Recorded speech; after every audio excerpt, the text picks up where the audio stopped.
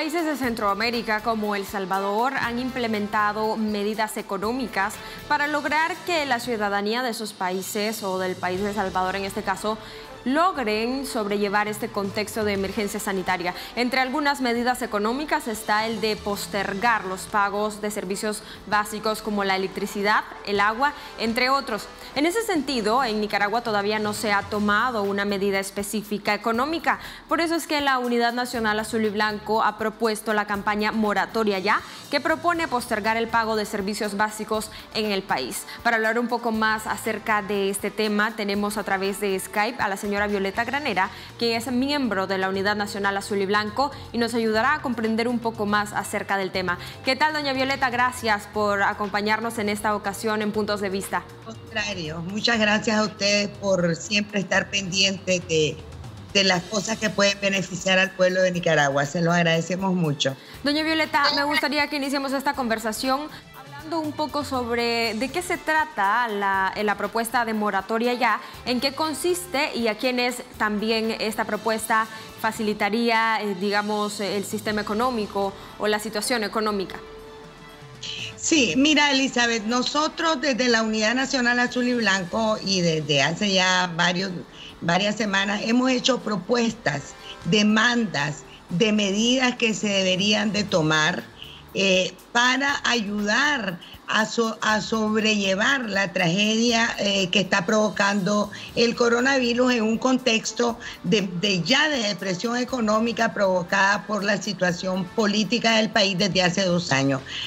Eh, esta campaña de moratoria ya es parte de todas esas propuestas porque hay otras cosas que se pueden hacer, pero nos ha parecido sumamente importante y urgente que por lo menos eh, la población de Nicaragua, especialmente las pequeñas y las medianas empresas y los trabajadores por cuenta propia eh, y los sectores, la población de menores ingresos puedan disponer de algunos recursos para comprar medicina, víveres y que puedan defender eh, su vida en condiciones un poquito mejores de las que tienen.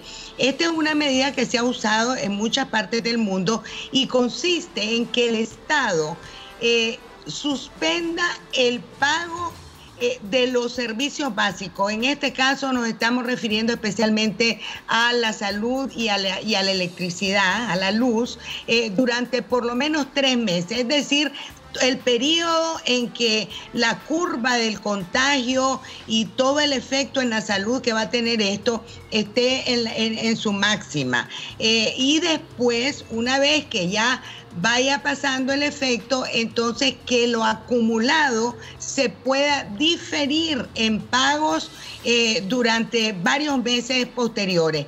Eh, tengo que hacer la salvedad que también la campaña eh, contempla que aquellos sectores de menores ingresos que se pueden identificar a través del consumo de estos servicios básicos tengan también un subsidio para que la eh, el acumulado no lo tenga que asumir la población eh, eh, de menores ingresos, sino que el Estado también asuma parte de esos pagos que habrá que hacer después. nosotros creemos que es una, de verdad, una barbaridad. Que estemos enfrentando semejante situación, que no tengo que detenerme en esto porque todos la conocemos. Eh, según el Observatorio eh, Ciudadano, eh, hace más o menos cuatro días ya teníamos alrededor de 1.500 contagiados en el país. Nosotros sospechamos que son muchísimos más y se habían contabilizado ya 351 personas fallecidas.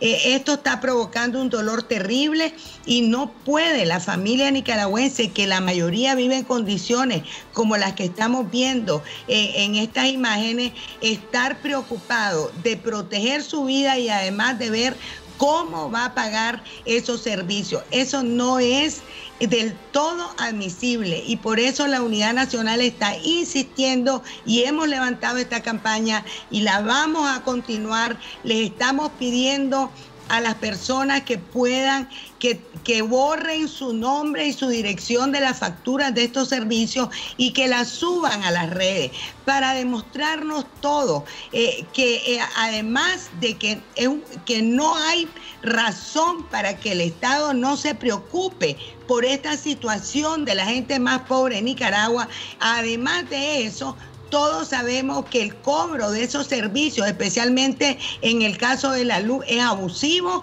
e injustificable frente a la disminución de los precios del petróleo. Y en el caso del agua, eh, hay muchísimos lugares, todos lo sabemos, que ni siquiera tienen acceso al agua potable y que solamente tienen una hora al día y sin embargo la factura llega puntual y llega en una proporción que no se corresponde al gasto. Señora Violeta, el tema de la campaña moratoria ya no pretende eliminar los pagos durante estos meses, sino eh, postergarlos. Eso es lo que comprendo, ¿no? Exacto. Eh, bueno, eh, suspender los pagos.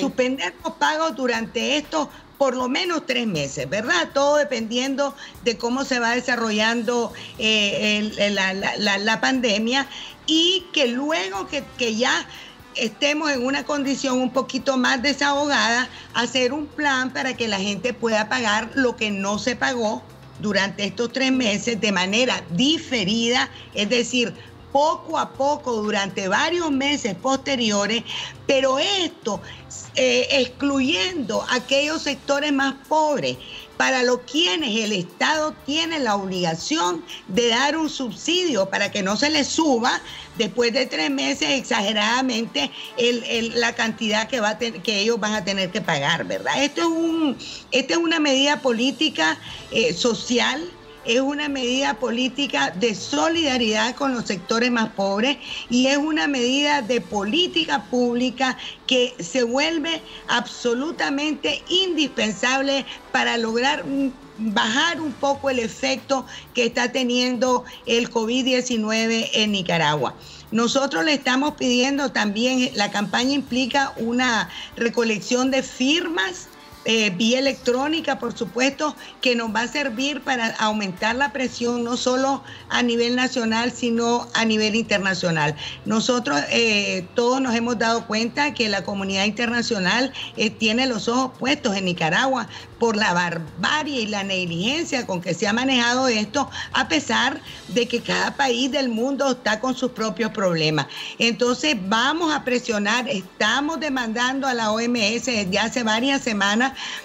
que, pongan atención a lo que está ocurriendo aquí y, ya hemos visto que la misma OMS y la OPS han pedido autorización para venir a Nicaragua y in situ verificar eh, este, y tratar de incidir para que se cambien la, ausencia de medidas y en algunos casos hasta las medidas que más bien están propagando el virus, como es el caso de las convocatorias públicas que ha hecho el gobierno. Económicamente, ¿cuáles serían los efectos de esta campaña moratoria ya que pudiera traer a las familias nicaragüenses?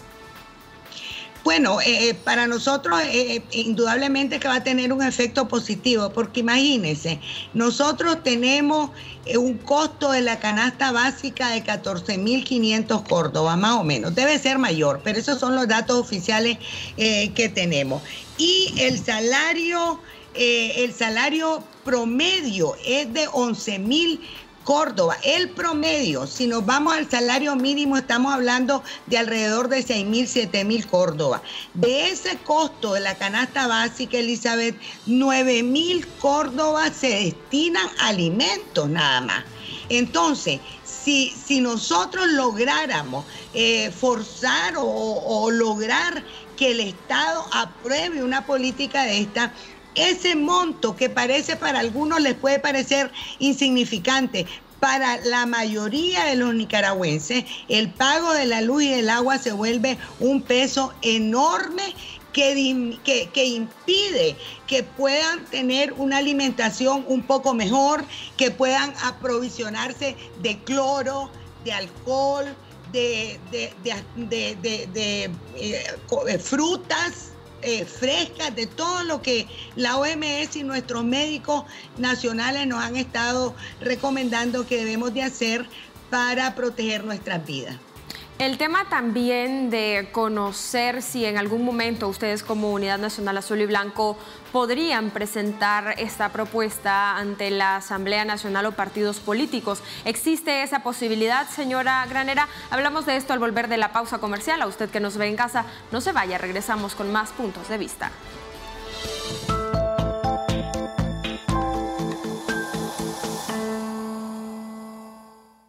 Opinaría usted como usuaria y usuario de los servicios básicos de energía eléctrica, luz, agua potable y otros en nuestro país si el gobierno de Nicaragua aprobara el que usted durante este contexto de emergencia sanitaria o al menos por tres meses no pagase esos servicios de energía y lo pudiese hacer en proporciones en los próximos meses?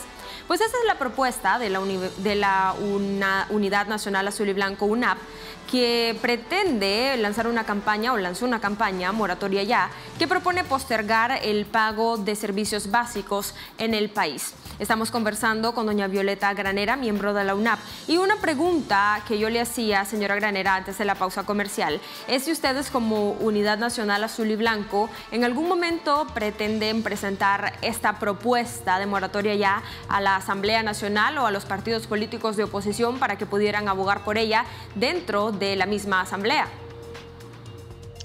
Eh, mira, Elizabeth, eh, yo creo que no estamos, no hay tiempo para eso. Aquí todos sabemos, Elizabeth, eh, que quien toma las decisiones es el Carmen, ¿verdad? Y que de ahí emana todas las directrices, eh, no solo a, las instituciones del Estado, a los ministerios, sino también a la misma Asamblea que está absolutamente cooptada eh, por el régimen. Nosotros eh, estamos presentando esto a la Coalición Nacional Azul y Blanco, a la Coalición Nacional, que es un espacio donde están otros movimientos políticos y sociales y a, toda la nación. Aquí una medida como esta que sobra decir que es urgente e indispensable, solo la podemos eh, lograr con la presión ciudadana con eh, seguir presionando y demandando. Esto no es un asunto político estrictamente, es político porque tiene que ver con una política pública, pero el COVID nos está afectando a todos sin distinciones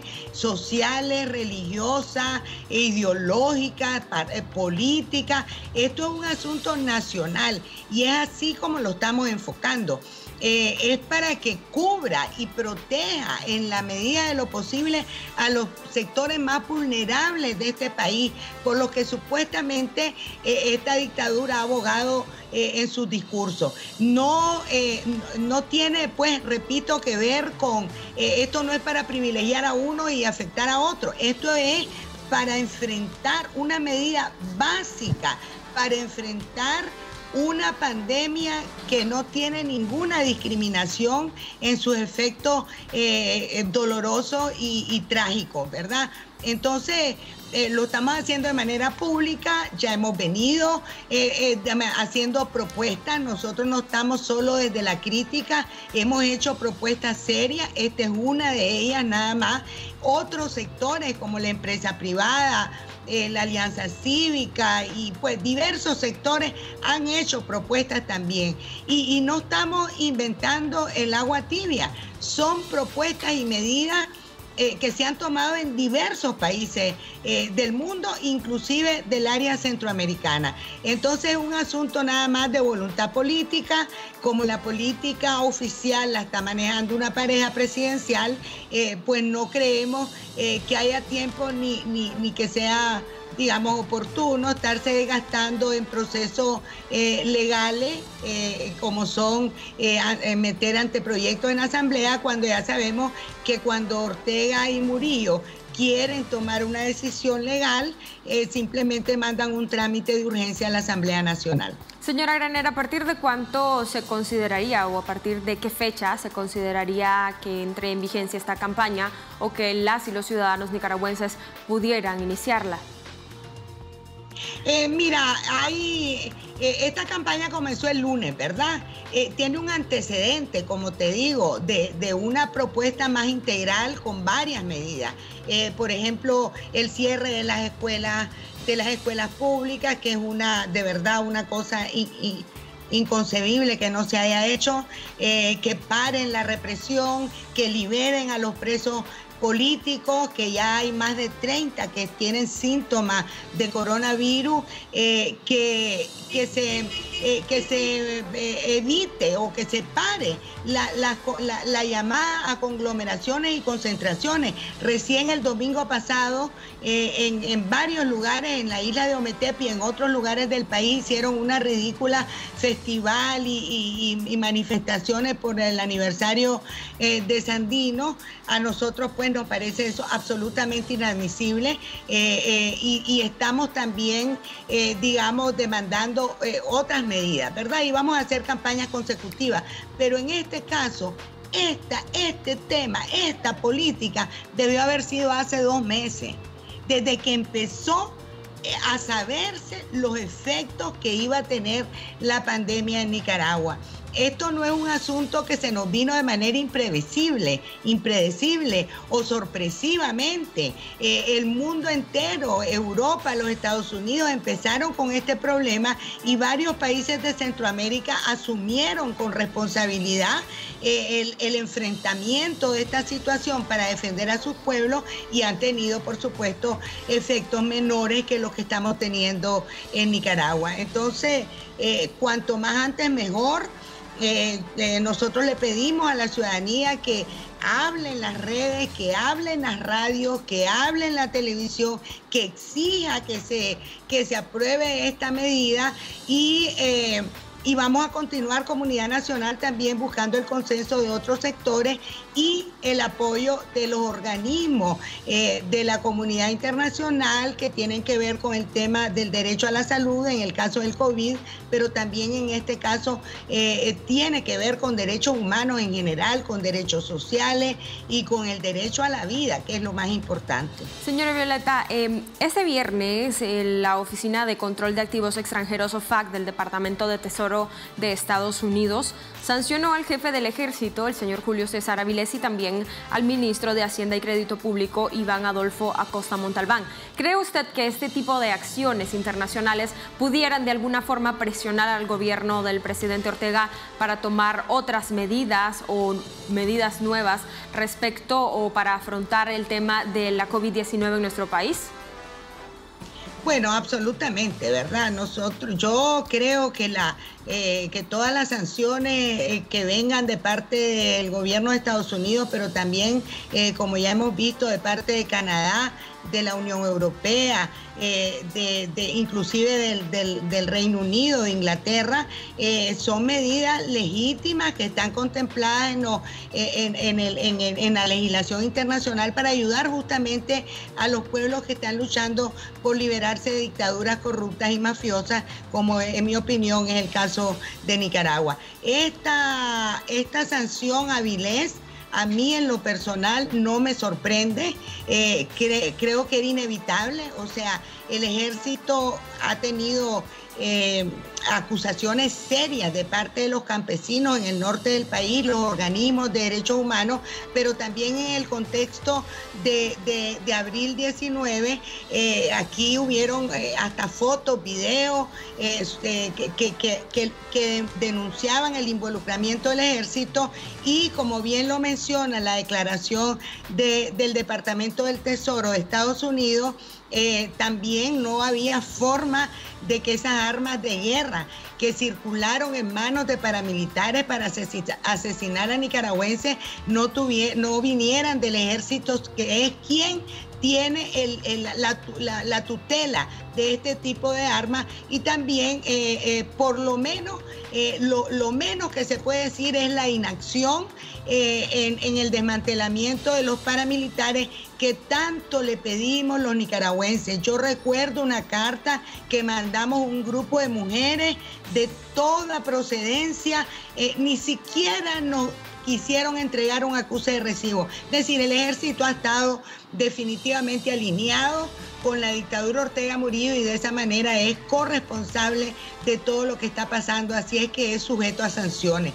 Eh, más bien hubiéramos esperado que fuera antes. Eh, yo agradezco al pueblo y al gobierno de Estados Unidos por, por, por, esta decisión, especialmente por la sanción a Vilés, pero también creo que eh, es pertinente hacerle un llamado a los otros mandos del ejército para que recapaciten en lo que también eh, los nicaragüenses y las nicaragüenses hemos estado diciendo. El ejército o se hunde con una tiranía que ya va de salida o logra recomponer su actuación eh, en, relación a la fidelidad que le, debe, realmente a la constitución y a los derechos humanos de los a proteger, a respetar la constitución y a proteger eh, el derecho a la vida en Nicaragua. Señora Violeta, quiero agradecerle por habernos acompañado en esta ocasión en Puntos de Vista y esperando poder conversar con usted sobre otros temas más adelante. Con mucho gusto, Elizabeth. Muchas gracias. Un placer. De esta manera yo me despido, no sin antes recordarle que vaya a nuestras redes sociales, interactúe con nosotros y esté informado de todo lo que acontece en Nicaragua y alrededor del mundo a través de www.vostv.com.ni. Además estamos en Facebook, Twitter, Instagram y por supuesto en YouTube para que usted pueda encontrar este y otros programas, por supuesto mayor información. Será hasta la próxima.